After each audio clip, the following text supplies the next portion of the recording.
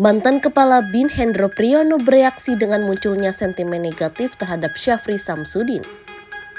Pensiunan Jenderal TNI Angkatan Darat itu menilai adanya penolakan Syafri masuk kabinet Prabowo Gibran adalah permainan pihak tertentu.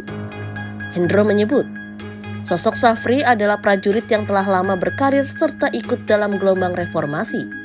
Menurutnya, sosok Syafri yang dikaitkan dengan Orde Baru cukup dianggap sebagai bagian dari sejarah saja.